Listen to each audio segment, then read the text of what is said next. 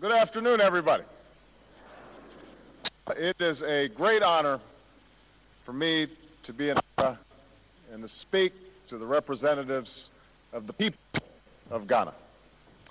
I am, I am deeply grateful for the welcome that I've received from Michelle and Malia and Sasha Obama.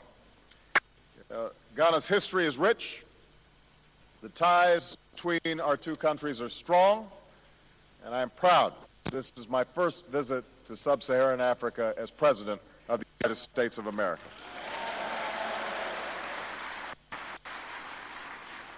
I want to thank Madam Speaker uh, and all the members of the House of Representatives for hosting us today.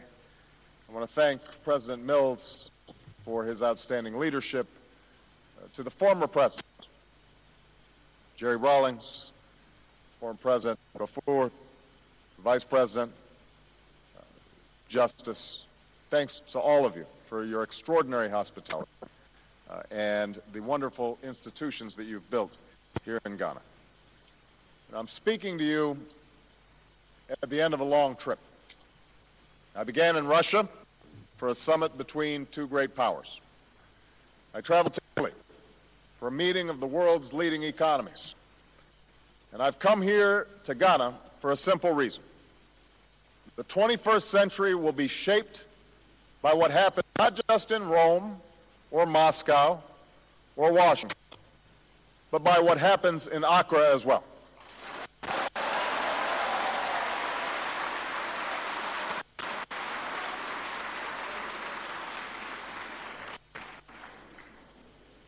This is the simple truth of a time when the boundaries between people are overwhelmed by our connections. Your prosperity can expand America's prosperity. Your health and security can contribute to the world's health and security. And the strength of your democracy can help advance human rights for people everywhere. So I do not see the countries and peoples of Africa as a world apart. I see Africa as a fundamental part of our connected world, as partners with America on behalf of the future we want for all of our children. That partnership must be grounded in mutual responsibility and mutual respect. And that is what I want to speak with you about today. Must start from the simple premise that Africa's future is up to Africans. I say this knowing full well the tragic past that has sometimes haunted this part of the world. After all, I have the blood of Africa within me, and my family's my family's story encompasses both the tragedies and triumphs of the larger African story. Some of you know my grandfather was a cook for the British in Kenya. And though he was a respected elder in his village, his employers called him boy for much of his life. He was on the periphery of Kenya's liberation struggles, but he was still imprisoned during repressive times.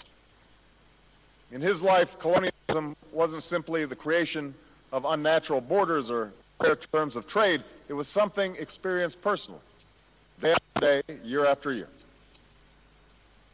My father grew up herding goats in a tiny village, a possible distance away from the American universities where he would come to get an education. He came of age at a moment of extraordinary promise for Africa. The struggles of his own father's generation were giving birth to new nations, right here in Ghana.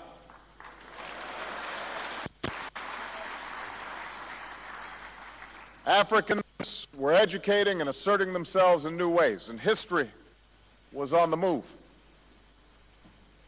But despite the progress that has been made, and there, there has been considerable progress in many parts of Africa, we also know that much of that promise has yet to be fulfilled. Countries like Kenya had a per capita economy larger than South Korea's when I was born. They have badly been outpaced. Disease and conflict have ravaged parts of the African continent. In many places, the hope of my father's generation gave way to cynicism and despair. Now, it's easy to point fingers and to pin the blame of these problems on others. Yes, a colonial map that made sense helped to breed conflict. The West has often approached Africa as a patron or a source of resources rather than a partner. But the West is responsible for the destruction of the Zimbabwean economy over the last decade. War wars in which children are enlisted as combatants. In my father's life, it was partly tribalism and patronage and ne nepotism in an independent Kenya that for a long stretch derailed his career. And we know that this kind of corruption is still a daily fact of life for far too many. Now we know that's also not the whole story. Here in Ghana, you show us a face of Africa that is too often overlooked by a world that sees only tragedy or a, a need for charity.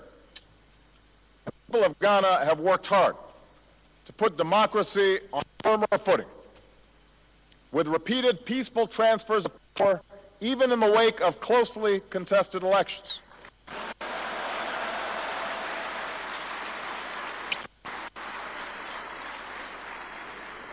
And by the way, can I say that for that, the minority deserves as much credit as the majority.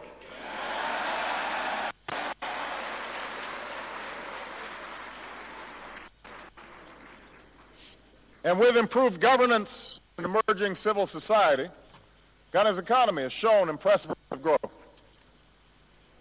This, this progress may lack the drama of 20th century liberation struggles, but make no mistake, it will ultimately be more significant. For just as it is important to emerge from the control of other nations, it is even more important to build one's own, one's own nation. So I believe that this moment is just as promising for Ghana and for Africa as the moment when my father came of age and new nations were being born. This is a new moment of great promise. Only this time we've learned that it will not be giants like Nkrumah and Kenyatta who will determine Africa's future. It will be you, the men and women in Ghana's parliament, the people you represent. It will be young people brimming with talent and energy and hope who can claim the future that so many in previous generations never realized. Now, to realize that promise, we must first recognize a fundamental truth that you have given life to in Ghana. Development depends on governance. That is, that is the ingredient which has been missing in far too many places for far too long. That's the change that can unlock Africa's potential. And that is a responsibility that can only be met by Africans. As for America and the West, our commitment must be measured by more than just the dollars we spend. I've pledged substantial increases in our foreign assistance, which is in Africa's interests and America's interests. But the true sign of success is not whether we are a source of perpetual aid that helps people scrape by.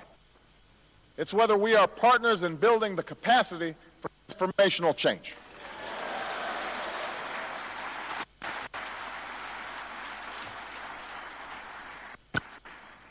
This mutual responsibility must be the foundation of our partnership. And today I will focus on four areas that are critical to the future of Africa and the entire developing world. Democracy, opportunity, health, and the peaceful resolution of conflict.